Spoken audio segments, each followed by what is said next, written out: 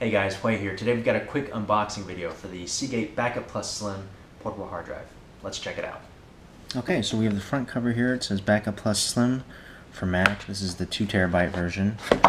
Um, let's open this stuff up. I've been up, uh, been on the market for a external hard drive for a while now. Just needed an extra one, and uh, after reading a bunch of reviews and talking to some people, I thought this would be a nice first attempt. So this is the packaging.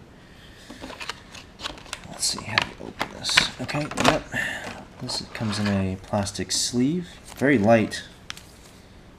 Um, and then this also looks like it comes with the USB 2.0, 3.0 cable.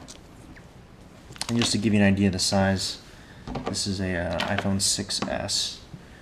You can see it's not quite as long and about the same width with the, with the case.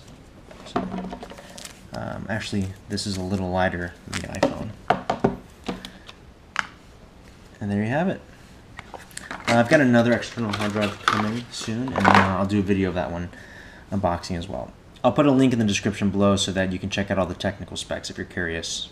If you found this helpful, feel free to let me know in the comments below. I know that sometimes uh, it's helpful just to see what's going on inside the box before you make a purchase like this. So, Also, you can subscribe so that you'll know when I make the next video for the other external hard drive that I've got coming in the mail. So, Alright, uh, thanks for watching. Bye.